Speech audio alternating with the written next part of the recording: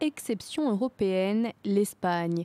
Malgré son taux de chômage très élevé et une classe politique régulièrement au cœur de scandales de corruption, comme nombre de ses voisins européens, Madrid a pris le contre-pied de la vague d'extrême droite qui se répand en Europe à la faveur de Podemos, nouveau parti issu du mouvement des indignés, et de Ciudadanos, nouvelle organisation plus au centre.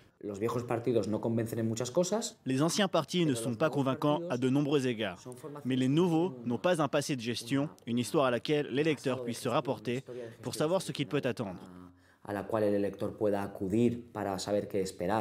Crédité de près de 20% chacun aux élections législatives de ce dimanche, Podemos et Ciudadanos sont tous les deux à leur tête un leader de moins de 40 ans, encore inconnu il y a peu, et qui promet un changement radical.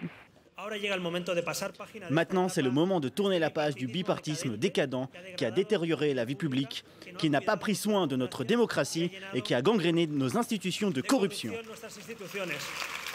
Terminé l'habituel duel droite-gauche entre le PSOE socialiste et le Parti populaire conservateur. Si on ne connaît pas encore le résultat des élections législatives et le score des deux nouveaux partis, ils auront en tout cas réussi d'ores et déjà à remporter une victoire en s'imposant dans le débat politique.